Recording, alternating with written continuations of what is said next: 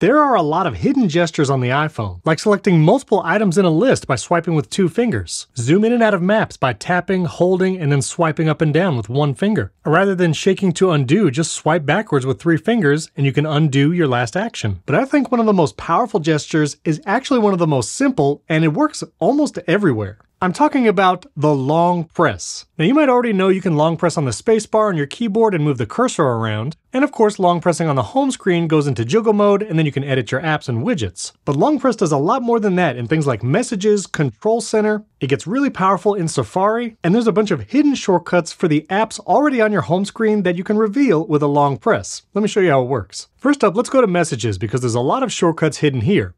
Of course, you can tap and hold on a conversation and quickly preview it. And that's also where you get options for things like pinning this message to the top of your message list, mark as unread, or hide alerts from that group. When you're in a particular message conversation, you can also long press on any of the message to reply, add a sticker specifically to that message, and you also see the edit copy, translate, speak this text, and more. But this action gets even more powerful when there's an address or something like a flight number. If you text a flight number to yourself or to someone else, DL for Delta, AA for American Airlines, include your airline code right here, and then the flight number. You can now tap and hold on that number and actually track the flight without even leaving messages. You can even tap preview flight and get even more information to track this flight. And that works with any airline code and number. In the same way, if someone texts you an address, you can tap it to go over to maps, but if you tap and hold on it, you get to preview that location with the maps right here, and then you can quickly get directions to it, add it to your contacts, copy the address, or share it. This works for lots of different data points like a phone number too, tap and hold on it, and you can quickly add to contacts, FaceTime this number, and more. Next, let's talk about the control center. You might already know some of these actions, but I bet some of your friends and family are not aware. Tapping and holding on some of the tools here in Control Center reveals a lot more actions.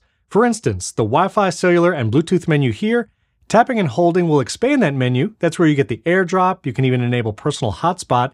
But you can even tap and hold on some of these actions like the Wi-Fi symbol, and now you can quickly change to a different Wi-Fi network without having to jump into the settings app. That also works for the Bluetooth settings, tap and hold, and then you can connect to a Bluetooth device right from here. Your Now Playing widget, while you can play and pause directly from this widget, skip forward and back, Tap and hold on it, it will expand it. If you're listening to a podcast, it will show you the custom episode artwork right here in this Now Playing widget. And you get expanded controls like this AirPlay symbol. And this button right here is really useful, especially if you have a lot of AirPlay devices in your house. You can actually jump to a different HomePod or even Apple TV and start controlling that device, or go back to controlling your specific iPhone if you don't want to be connected to something else. Long press or tap and hold on the brightness slider and you get quick access to dark mode, true tone, and night shift. Of course, tapping and holding on the focus button lets you quickly jump to a focus mode and you can even choose how long you want to enable it, like for an hour, until this evening, or when you leave a location. Long press on the home widget here in Control Center and you get access to all your smart home and HomeKit devices without having to go to the home app directly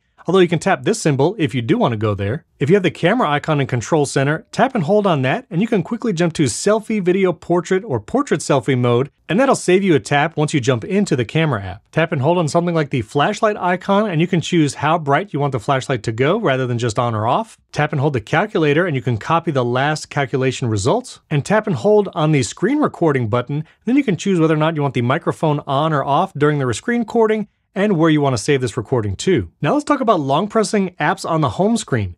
This was introduced with the iPhone 6s with 3D Touch, and there was peek and pop, lots of shortcuts. 3D Touch went away with the iPhone 10, but long pressing icons here on the home screen still brings up a lot of shortcut menus, like long pressing the camera icon and you can jump into a specific mode. Long press the photos, and you can jump to things like photos from one year ago or go to your favorites. Long press the Maps application, and you can mark your location, send your location to a friend, or search nearby. Long press the clock icon and you can quickly create an alarm or start the stopwatch. Even third-party apps have some shortcuts when you long press, like creating a new post on Instagram or viewing your notifications. Long press the home app and you can run some scenes that are automatically populated here. Long press music and you can resume what you were listening to, play your favorite songs, or a station. YouTube actually has some great shortcuts built in when you long press that app. Like if you want to jump directly to the subscriptions or search YouTube, Again, saving you a few taps than having to open the app and then tap subscriptions. My note app of choice, Bear, has lots of options here, like going directly to search or creating a new note. And here's some other really useful third-party app shortcuts, like for Amazon, go directly to viewing your recent orders. Callsheet, the best app for looking at movies and actors and crew, you can jump right to the search if you long press that. Long press the Starbucks app and you can add money to your card, search nearby stores, or go right to ordering.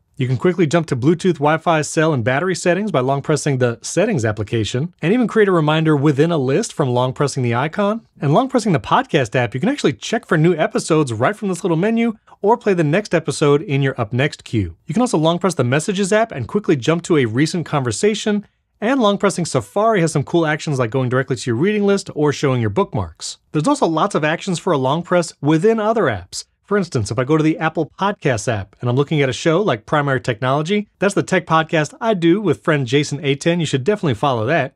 I can long press on a single episode and then do things like add it to the queue, save it, mark as played, and more. Long press on a song and music and you get a bunch of actions there. And there's numerous hidden actions in Safari.